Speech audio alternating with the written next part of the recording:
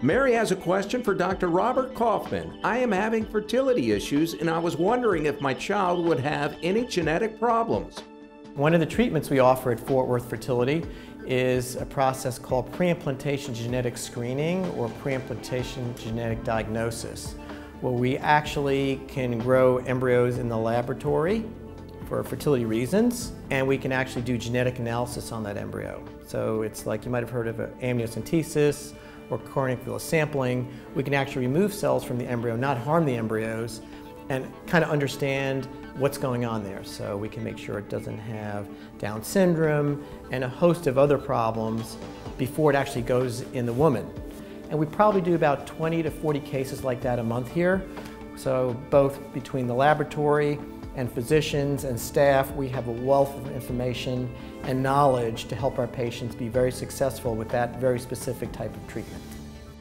Ask our doctors on bestdocsnetwork.com.